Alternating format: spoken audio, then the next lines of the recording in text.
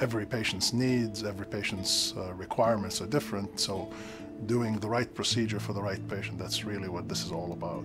Every patient we see is somebody's husband or wife or child, and uh, we try to take that into consideration, whether it's 2 in the morning or, or 9 in the morning.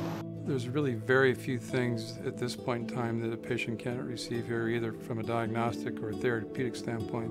If the patient knows that he can get the best treatment close here to home where his uh, support system lies, I think it's a huge, huge advantage. We are a heart and vascular institute that will be recognized throughout Massachusetts and New England for the outcomes and the personal care that we're able to deliver.